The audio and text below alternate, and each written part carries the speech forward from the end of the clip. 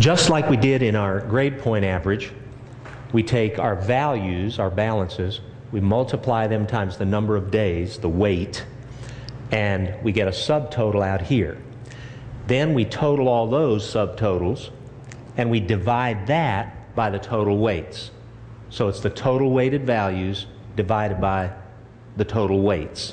In this case, it's 82,230 divided by the total number of days in the billing cycle, and that yields our average daily balance.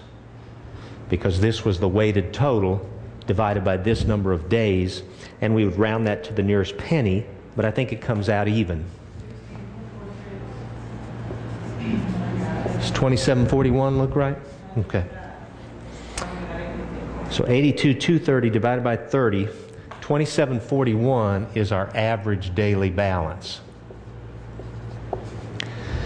Now, what they would do is they would then say, we charge 18% a year, which means 1.5% a month. So we're going to multiply that by 1.5%, and that's how much interest they would tack on. Because we're going to owe one month's worth of interest on that amount of money. 4112. And of course, we don't call it interest on a credit card, we call it finance charge, but it's interest. That's what it is.